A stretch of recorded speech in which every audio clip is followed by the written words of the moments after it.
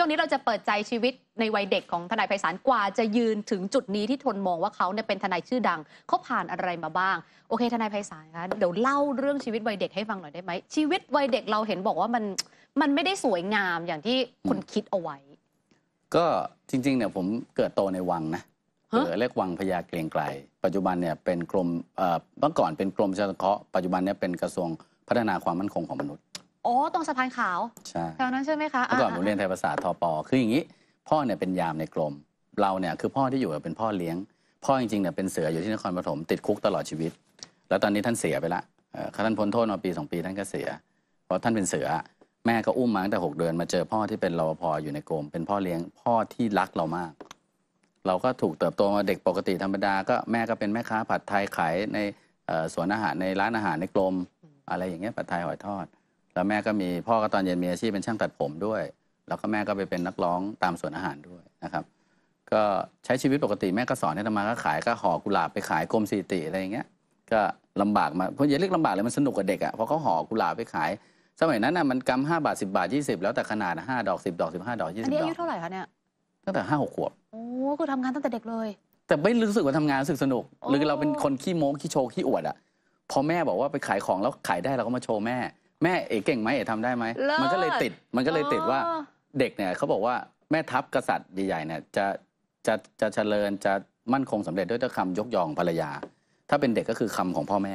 มอันนี้คือเรื่องจริงให้ความภูมิใจ เออเราก็ภูมิใจแล้วแม่ก็สอนอย่างว่าเอ๋เนี่ยตึกใบหยกอะสร้างได้สองมือคน เราก็เด็กอะนะแล้วจริงเหรอว่ามันสร้างได้สองมือคนยังไงเราก็เอ้ามันพอโตขึ้นเรารู้ว่าเออมันต้องเรียนหนังสือ แล้วพอหลังจากนั้นเนี่ยก็อยู่ไทยประสาทศาสตร์อยู่อะไรมาจนย้ายไปอยู่เอ่อ ปากคลองตลาด พ่อย้ายไปเป็นนักการภารโรงที่โรงรับจำนำของรัฐวิสาหกิจที่หนึ่งสถานธนานุเคราะห์ก็เรียนก็เกเรอะเริ่มติดยาเริ่มดมกาวดมแลกดมอะไรอย่างเงี้ยติดยาแล้วก็วันหนึ่งเราก็เห็นภาพว่าเราไปเมอร์รี่คิงส์อะเมอร์รี่คิงส์วังบูรพาเราเห็นแบบเด็กมสี่มห้าสาวๆ ขึ้นห้างกันอะ สดใสเราขี้ยาขึ้นห้างมีความสึกเลิกเหอะก็หักติดเลย ตอนนั้นฉีดผงพวกโพยครบเลยนะกบกบกบ สร็จแล้วก็ไปแช่ตัวอยู่ในในโอ่งเจ็ดวันขึ้นมานิ้วย่นแล้วมันก็หักดิบอะเหมือนว่าเมื่อยเนื้อเนี่ยมันนวดได้เมื่อยกระดูกที่เขาทำกันเงี้ยเนี่ยพวกใช่ติดใช่ยาตัวในองค์คืออะไรคะ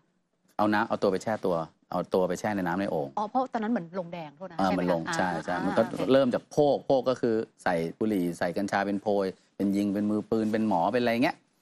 ตั้งแต่ดมแลกสมัยก่อนแลกมากาวด้วยนะ ตั้งแต่ในกระดาษทิชชู่ในสำลีแล้วมากาวอะไรเงี้ยนะแล้วก็ดิ้นรนมาแล้วก็หนีออกจากบ้านมั่ง แต่ถ้าจะบอกสถาบันการเรียนนี่เยอะมาก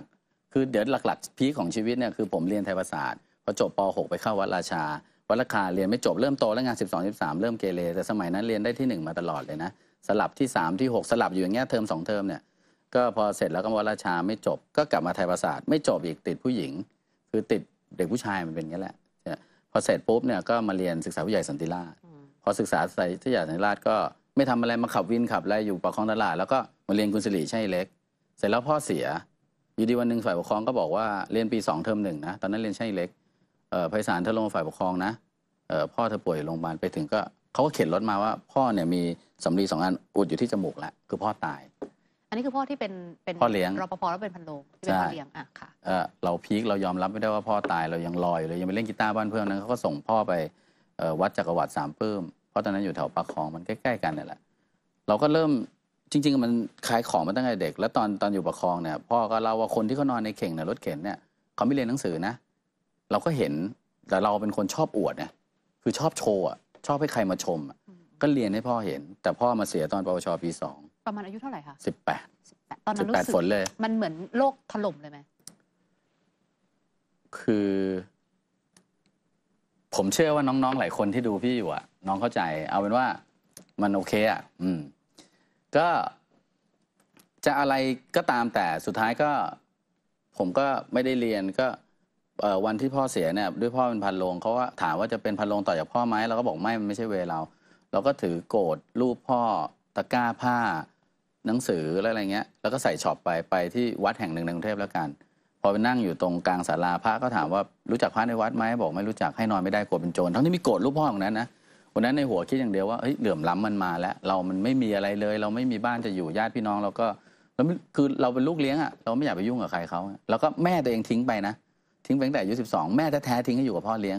แต่พ่อเลี้ยงเป็นคนดีมากที่สอนทุกวันเนี้ยสอนให้เราเป็นคนดี จนสุดท้ายเนี่ยก็ส่งตัวเองเรียนมาปปชปีสองก็ไปพระรามหกพอมาพระรามหกก็ไปอินทระพออินทระไม่จบกลับมากุลมาจบกุลก็ไปไทยไปหารที่กิจปวสพอจะเรียนก็ไม่จบอีกก็ไปเรียนรามนิติศาสตร์ ไม่จบมาสุโขทัยทีนี้มาก็มาสุโขทัยตรี 12 ปีเต็มคราบเลย เพราะตอนนั้นเป็นเด็กเสิร์ฟไปด้วย ตรีโท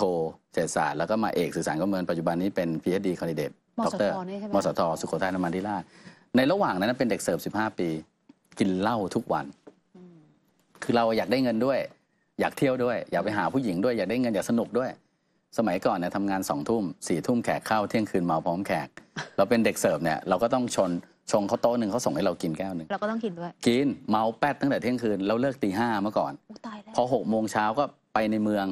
ไปกินข้าวก่อนที่ข้าวแกงร้อนๆแล้วค่อยใส่บาตรกินข้าวก่อนพระ อืมแล้วก็ไปมั่วอยู่หมู่บ้านนักดนตรีคือเละเทะกินเหล้าทุกวัน คือชีวิตมันเป็นแบบนี้ทุกวันทุกวันทุกวันแต่รักเรียน จนมาเป็นเบาหวานเบาหวานความดันแล้วก็ ต้องเรียนอย่างนี้นะทนายไพศาลเนี่ยเป็นคนปกตินะครับ ผมเนี่ยในวัยรุ่นเป็นคนอยากมีอยากเป็นอยากได้ทำธุรกิจ ค้าขายเป็นลูกน้องเขาทั้งทำดีทั้งทำไม่ดีทำไม่ดีอย่างเช่นยังไง ก็เคยโกงตอนเป็นช่างอยู่ร้านโทรศัพท์ ก็เคยโกงมิกเซอร์ลูกค้าอืมอยากได้เงินไงทำสิ่งที่มันผิด แล้วเราก็ติดผู้หญิง แต่ตอนนั้นก็ติดเรียนด้วยนะ ไปอยู่มาทุกผับอะมิดเลอร์แอนด์แมทซูเม t เดอะปังเอ่อมิดเลอร์แอนด์แมทฟิล์มเมเกอร์เดอะแบงค์มังกี้ไปมาหมดละเสร็จแล้วเนี่ยก็ พอวันหนึ่งกินเหล้าทุกวันด้วยความที่ยังหลงโลกอยากมีอยากเป็นอยากได้มิกเซอร์สมัยนั้นอย่างละห้าสิบนะ โซดาสองโค้กสองน้ำแข็งหนึ่งไอคนที่มาตั้งบินเนี่ยมันไม่ได้เช็คโซดาหรอก แต่โต๊ะเงินสดอะเราก็เอาตั้งบินอันเนี้ยมาขายมันเงินสดเก็บเข้ากระเป๋าอืมเป็นคนปกติเลย น้องๆดูอยู่อย่าล็อกอย่าแบบอย่าลอกเรียนแต่จะบอกงี้พี่จะเล่าข้อเท็จจริงว่ามาเป็นพี่ไพศาลได้ไงอืมพอวันหนึ่งตาบอดเลือดออกในน้ำวุ้นตา เดี๋ยวนะเดี๋ยวนะ คือโอเค ใช้ชีวิตทำงานร้านเหล้ากินเหล้าทุกวันอืม แล้วมันถึงขนาดตาบอดเลยเหรอคะตาบอดเป็นเบาหวานไงคือพอเป็นเบาหวานเนี่ยตับมันเสียเป็นเบาหวานความดันเนี่ยเราไม่ได้ดูแลตัวเองจนวันหนึ่งอะความดันในตามันแตกเลือดมันก็ออกในน้ำวุ้นตาบังตาดำต้องผ่าจอประสาทตา ตอนแรกแตกข้างนี้ก่อนสามเดือน ด้านซ้ายก่อนสามเดือนนอนอ่าคว่ำหน้าแล้วก็ฉีดแก๊สไปให้แก๊สมันระเหยดันขึ้น ในเตียงหลุม แล้วตอนนั้นใครดูแลอะคะภรรยาเดี๋ยวจะมาเล่าถึงภรรยาอ่อ่โอเคพอเสร็จปุ๊บพออีกสามเดือนข้างนี้แตกทีนี้นอนคว่ำหน้าไปเลยเกือบปี ตอนนั้นมองยังเรียนอยู่ด้วย ตอนนั้นจบจบหมดแล้ว อ๋อตอนนี้จบแล้วมาเป็นแล้วมาเป็นอ่าผู้ใหญ่แล้วตอนนี้ทีนี้เสร็จเนี่ยจบโทแล้วตอนนี้เรียนเอกอยู่อะก็ปีหนึ่งเนี่ยมองไม่เห็นเลยเห็นแตะกรรมนอนในเตียงหลุมเนี่ยมองไม่เห็นเห็นแตะกรรมนะกรรมที่ไปหลอกไปโกงเขาไว้อะอืมจนมันเชื่อว่าถ้าเรากลับมาหายเนี่ยเราจะทำทำคุณให้แผ่นดินประเทศชาติ แล้วเราก็กลับมาเหมือนจะหายตอนนั้นพอจะหายมันเหมือนมองเห็นแบบน้ำท่วมอยู่ในตาลอยๆเหมือนเห็นคลอรีนอีกข้างเงี้ยจนมันหายจริงเราปฏิญาณตนเลย มาร่วมสนับสนุนท็อปนิวส์นำเสนอความจริงได้แล้ววันนี้ เพียงกดปุ่ม Super Thanks แล้วเลือกจำนวนเงินตามที่ต้องการได้เลยครับ ขอบคุณครับ